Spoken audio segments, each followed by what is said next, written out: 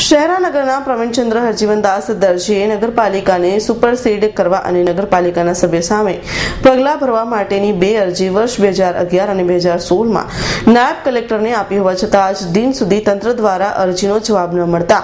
આખરે અરજદારે ત્રીસ દિવસમાં બે અરજીના જવાબ સાથે કાર્યવાહી નહીં કરવામાં આવે તો આત્મવિલોપનની ચીમકી ઉચ્ચારવામાં આવી છે. પંચમહાલ જિલ્લાના શહેરાનગરના નાગરિક પ્રવીણચંદ્ર હરજીવનદાસ દરજીએ તારીખ એકવીસ નવ બે હજાર અગિયાર નગરપાલિકાને સુપરસીડ કરવા માટે નાયબ કલેક્ટરને અરજી આપવામાં આવી હતી. જે અરજી આપ્યા બાદ તપાસનો દોર તે સમયે અટકી ગયો હતો. ત્યારબાદ ફરી તેઓએ પચીસ આઠ બે હજાર સોળના રોજ બીજી અરજી નગરપાલિકાના સભ્ય સામે પગલાં ભરવા માટે પ્રાંત કચેરી ખાતે આપી હતી.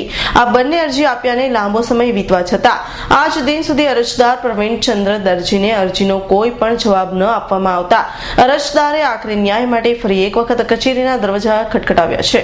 જો અરજદારે માંગેલી માહિતી ત્રીસ દિવસમાં તંત્ર પાસેથી નહીં મળે, તો તેઓ આત્મવિલોપનની ચીમકી ઉચ્ચારી હતી અને એક અરજી નિયામક નગરપાલિકા ગાંધીનગર જિલ્લા પોલીસ વડા પ્રાંત કચેરી શહેરા, પોલીસ ઇન્સ્પેક્ટર શહેરા, મામલતદાર અને નગરપાલિકાને ટપાલ દ્વારા મોકલવામાં આવ્યું હોવાનું જાણવા મળે છે. વધુમાં અરજી ઉલ્લેખ છે કે શહેરાના લોકોના ટેક્સના રૂપિયાનો દુરુપયોગ, પાલિકામાં ખોટી નિમણૂક, દબાણ, ગેરકાયદેસરના તેમજ વિકાસના કામોને પણ અરજીમાં ઉલ્લેખ કર્યો છે. આત્મવિલોપનની અરજી કરવાનું કારણ એક જ છે કે મેં નગરપાલિકાને સુપરસીડ થાય, નગરપાલિકાના સભ્યોએ પોતાના હોદ્દાનો દુરુપયોગ કરીને જે કામગીરી કરેલી, એ બાબતની અરજી મેં નગરપાલિકા સુપરસીડ કરવા માટે કલેક્ટરશ્રીને કરેલી અને કલેક્ટરશ્રીએ એકવીસ નવ બે અગિયારના રોજ પ્રાંત અધિકારીને મોકલાવેલી. અને એના સંદર્ભમાં પ્રાંત અધિકારીએ મામલતદાર તરફ મોકલાયેલી. અને મામલતદાર, ડેપ્યુટી મામલતદાર શ્રી મહેરા સાહેબે મારો જવાબ લઈ અને પ્રાંતને મોકલેલી. ત્યાર પછી કોઈ પણ આ બાબતે કોઈ ડિસિશન કે જવાબ આપેલ નથી. ત્યાર પછી સભ્યોએ પોતાની મનમાની રાખી પચીસ આઠ બે હજાર સોળના રોજ સભ્યોની સામે પગલાં ભરવા માટેની મેં એક અરજી કરેલી.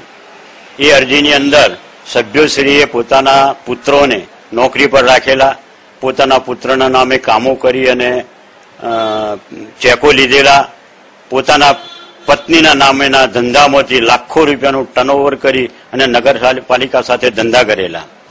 બીજા એવા અનેક મુદ્દા સહજ સભ્યોની જે ગેરવર્તુક કરેલી, એના બાબતે મેં અરજી કરેલી. સરકારશ્રીના પરિપત્રનો પણ આ લોકોએ અવગણના કરી છે. સરકારશ્રીના પરિપત્ર મુજબ નગરપાલિકાના સ્વભંડોળના પિસ્તાલીસ ટકા ખર્ચો તમે પોતાના પગારમાં કરી શકો છો. સરકારના પરિપત્રનો અવગણના કરેલી એ પણ મેં ઉલ્લેખ કરેલો. અને આ બાબતે પ્રત્યુત્તર ન મળતા મેં ફરીથી આત્મવિલોપન હું કરીશ એ બાબતની જાહેર પત્રિકાથી પણ પ્રાંતને અને નગરપાલિકાને જાણ કરેલી.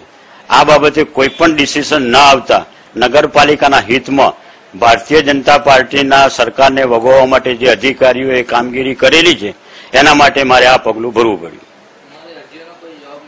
ના, મારી અરજીનો કોઈ જવાબ મળેલ નથી. ઇકબાલ શેખનો રિપોર્ટ પંચમહાલ.